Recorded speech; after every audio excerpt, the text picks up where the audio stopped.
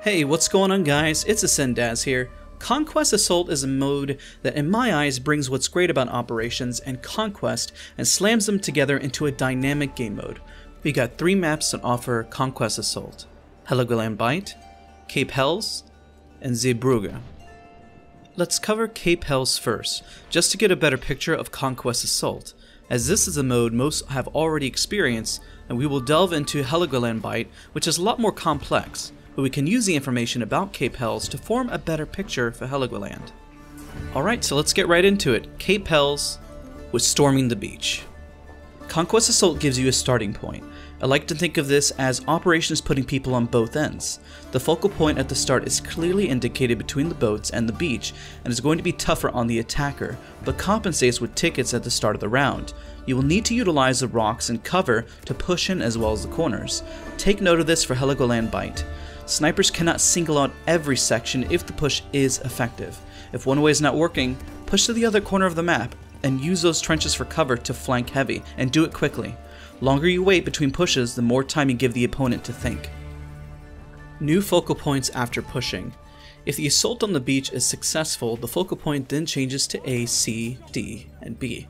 This gives the most versatility pushing back and forth between points and maximizing points and kills.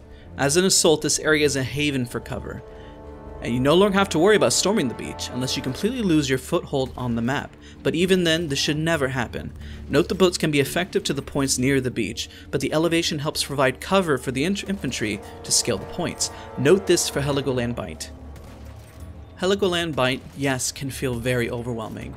Now the big takeaway from Cape's Helles is how predictable you can anticipate your enemies once you see certain points are taken. I have spoken before how you can anticipate the danger of Cape Helles. Even when it came to vehicles, this is quite easy as they're always south of the main objectives. For Heligoland Bight, let's start off with where in the world do I go? I'm going to keep a simple answer and come back to this one later. Take Objective D. This is your strongest point as both attacker and defender and grants you access to both sections of the map as you can see.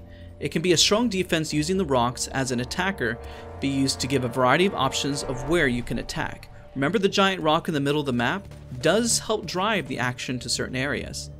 Let us cover what feels overwhelming before I delve more into what each point does and offers. Too many boats. Boats are useful, but remember the points are on land. They are more exposed and prone to attacks from infantry even if they do beach the boat. But there are bigger boats. Bigger the boat, the larger the target and the harder they fall. Big boats should utilize the map as cover and use distance to help against infantry and to single out planes. But Daz, there are a ton of planes. Yes, planes can be pesky. With how many trenches and rocks, they can be quite useless unless in the hands of an extremely good player. Even then, get some people to focus them down and they'll be quick worked. Now back to the points. F and A are gimme points. These points are too far away from the action to truly make the biggest difference for infantry. Leave this to the boats. And they have the highest risk, of course, again, being pestered by those boats. Remember that this is the furthest from D, the strongest point for infantry. Now the points around D. This is the playground for infantry, and remember in Cape Helles we talked about predictable encounters?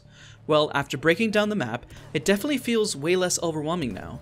Once you have D, you have access to push in a variety of ways. You can utilize the north objectives, or you can push down for objectives towards the south. The map does not change its focus like in Cape Helles. Boats have a hard time accessing these points and are extremely vulnerable. Infantry like Cape Helles should utilize the rocks, provides for cover around D and trenches near B. Make your enemies fall into predictable patterns on this map, and this will be the biggest tools for success. Boats and airships, while effective, can't take an objective unless they fully expose their position. Remember this, giving the advantage to assault players to take them out. Use the rocks for cover because I will admit, even when enemies utilize the rocks against me, I had a hard time locating them as they passed by. Feels way less overwhelming, right? Let me know in the comments how you fare on this map as an infantry now that the new TTK changes, time to kill changes all are in effect. Be sure to check out more helpful tips in bootcamp at www.battlefield.com. Thanks for watching and I'll see you in the next video.